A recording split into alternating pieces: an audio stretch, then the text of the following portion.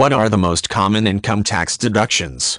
Income tax deductions are expenses that a taxpayer has during the year that they are allowed to claim in order to have a lowering of their taxes owed. Income tax deductions vary widely from country to country and we will deal here with those in the United States on the federal level as administered by the Internal Revenue Service. Claiming appropriate income tax deductions can lower the amount of taxes you owe considerably and often people visit an accountant to make sure they haven't missed any potential income tax deductions. Charitable contributions are one of the most common deductions people take and one that is often overlooked. Even small donations can add up over the course of a year making it worthwhile for individuals at any tax level to claim them. This includes donations made directly to an organization of course like your $100 US dollar annual contribution to your local firehouse but it includes other things as well. For example if you participate in a bake sale to help raise funds for a local religious nonprofit you can likely claim the price of the ingredients you use as a donation and get a deduction for it.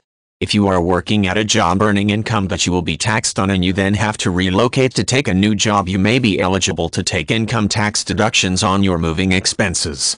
To qualify the new job needs to be at least 50 miles away from the old job and you have to have worked at least 39 weeks of the 12 months following the move.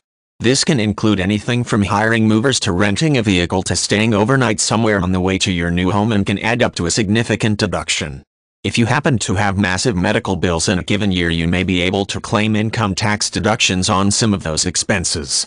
While not intended for people who just have routine checkups or small procedures this can be extremely helpful for people who had to undertake major surgery. In order to qualify at least 7.5% of your adjusted gross income in a year must have been spent on medical expenses but if it was you may be able to claim the full amount. There are also a number of income tax adjustments you can take whether or not you itemize your return.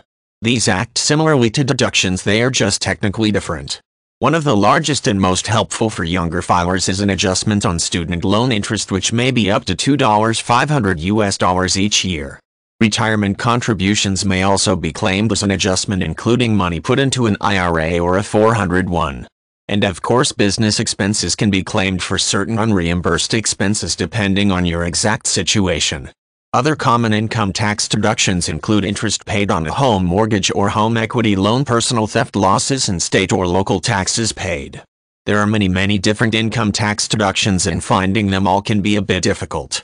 An accountant can help you find deductions you may not have thought of and many online tax assistance programs will guide you through the filing process by asking you questions meant to uncover deductions you may be able to utilize.